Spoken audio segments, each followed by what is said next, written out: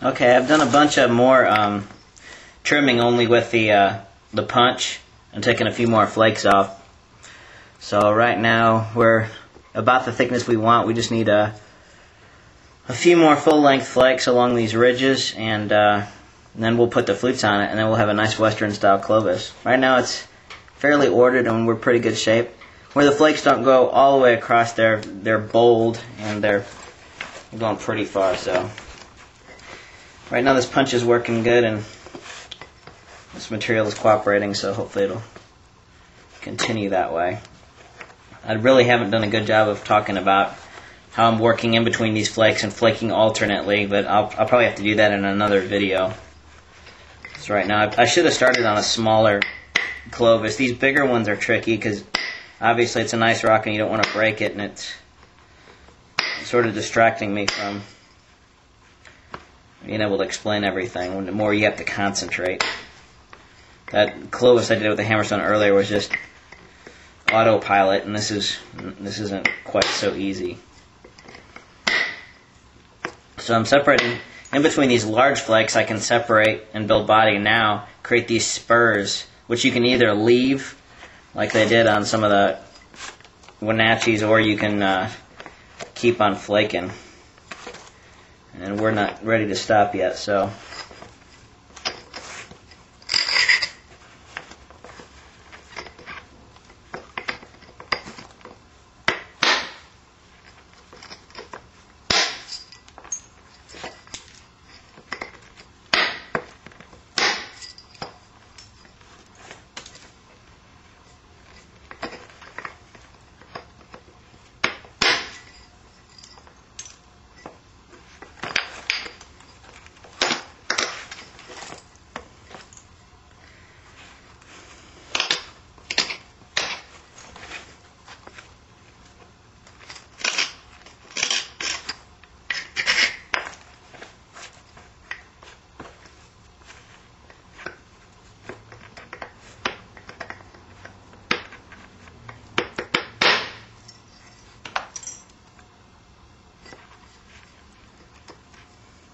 Knowing when to stop on these things is the is really tricky because some of these, like the Fenn cache points, a lot of the edge properties on those things, you could, I mean, they're unrefined, they're kind of heavy.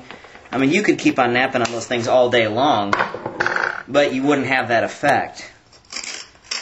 So, a lot of these Clovises out there that aren't that are more medially controlled and, and they don't have full length flaking all on them, we're just they they were probably had length flaking the stage right before, and then they sort of just took the edges down and kept on going with them. Oops.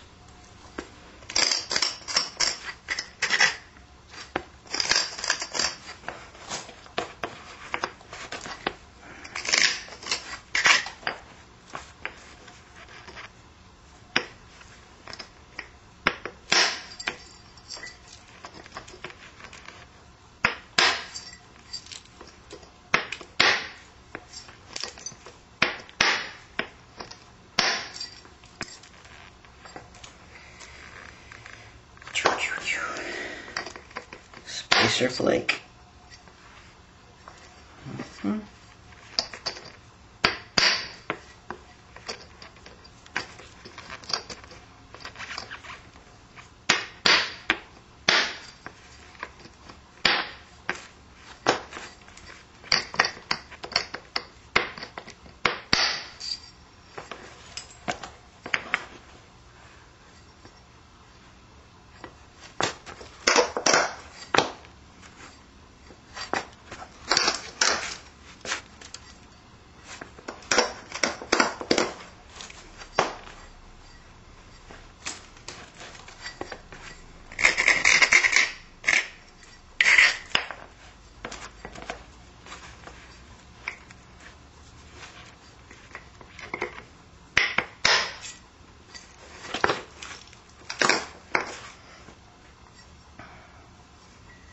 Now here's one where you just, you have to get it. You've got a nice ridge and you've got some body here. And you really have to get that flake to go all the way across. There's just, there's no excuse if you don't.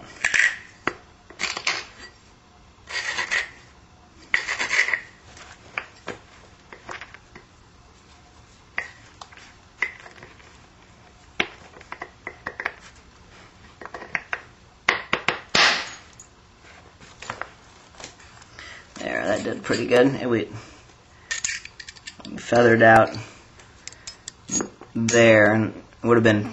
I know it's appearing to be, you know, acting like a ninny, complaining that it didn't, but I would liked that that just gone a little bit further. So, but that was pretty good. Um, let's see here. Too bad this thing in red, white, and blue. This is really sort of a boring rock. It's gonna be a, probably end up being a really nice point on a sort of boring color, but it kind of looks like a patinated Alibates that fleck in there, even though it's Burlington. Sometimes when I chip Burlington and I'm making a Western material, I kind of pretend it's a something else because obviously we don't always have access to the correct material. Okay, now here's a thick base. So I'm going to go ahead and do some basal thinning, and I'm probably going to use that leg anvil and use the punch, because if I work it here, it's, it's awful big.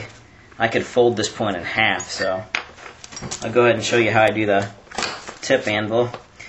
And before I take a few more big flakes off this blade, I'm going to want to flute it because I don't want to break this thing.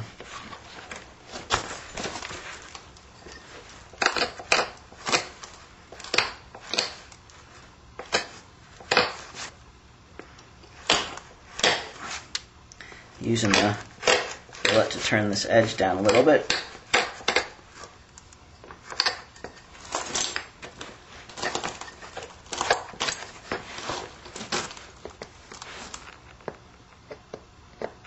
Actually, if I work low angle, I can probably get away with doing this right now if I find a corner here.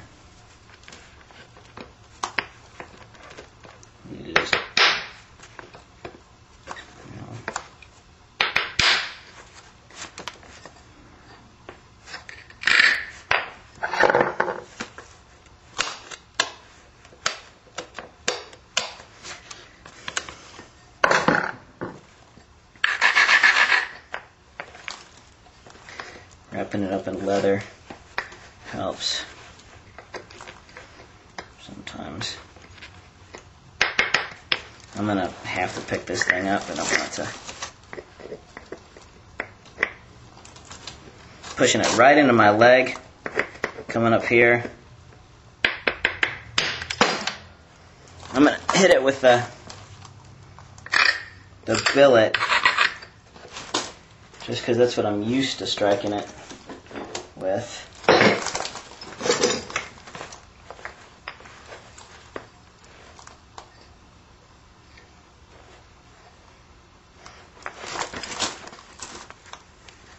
Sometimes my smaller punch, that's what I'll do. I'll use the smaller one to set up a platform.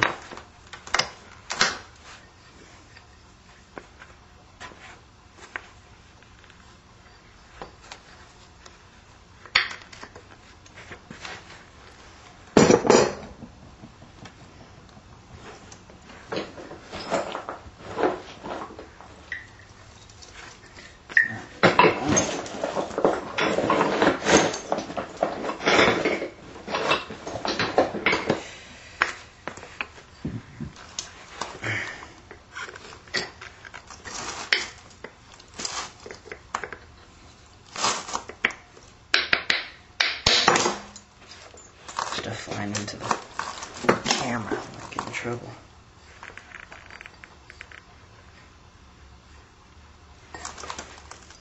These are just like little guides